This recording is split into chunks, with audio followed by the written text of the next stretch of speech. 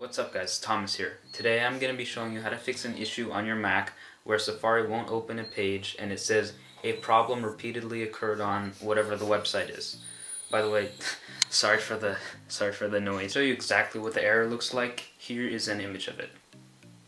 So the first step in solving this issue is determining whether it happens on specific websites or a large number of sites. If it just happens on a, a few websites, then it's probably an issue with that actual website.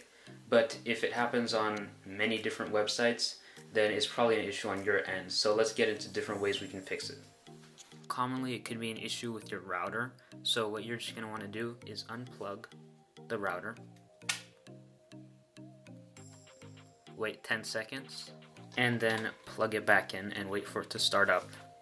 Okay, so the next step if restarting your router didn't work is to try to use a different browser like Google Chrome to try to load the site, just to double check if it's a Safari issue or an issue with something else.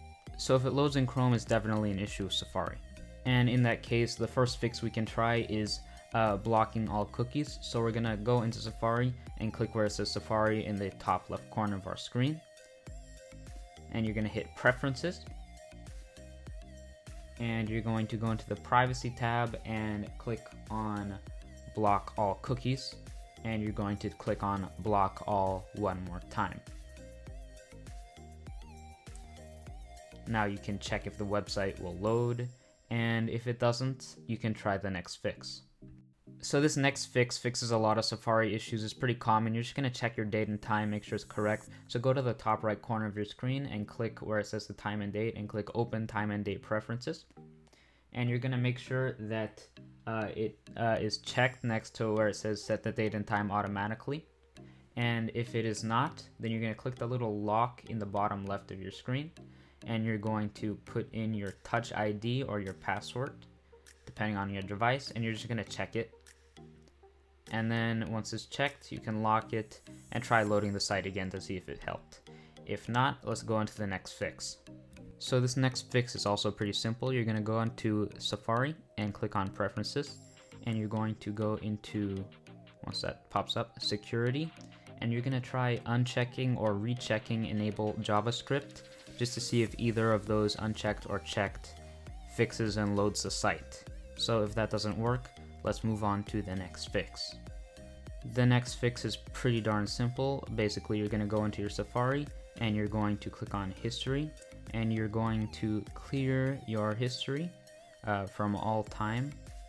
And let's click that and you're going to set all time and you're going to click clear history.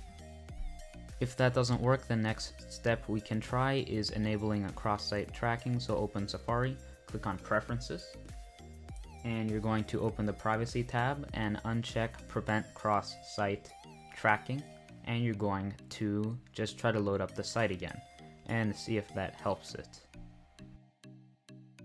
If that didn't work, then we can try clearing our Safari caches by going to our desktop and clicking go in the top of the screen and click go to folder and you're going to type in I'll have this in the link in I'll have this text in the description slash library slash caches slash uh, com.apple.safari slash cache.db and you're going to go to that folder. And you're just gonna drag that file that's selected to the trash bin. Like that. Now you're gonna right click on Safari. Click quit. And reopen it and try to load your website again. If that still didn't work, the next fix is going to be uh, opening terminal to delete and reinstall Java. So you're just going to go spotlight search and search for terminal. And then you're going to type in the following commands, which I did not care to memorize for this voiceover, but they're in the description below to copy and paste them. And you might be prompted for your password a few times. Just type in your password. So let's type in the first command. And now it's going to ask us for our password once we enter it.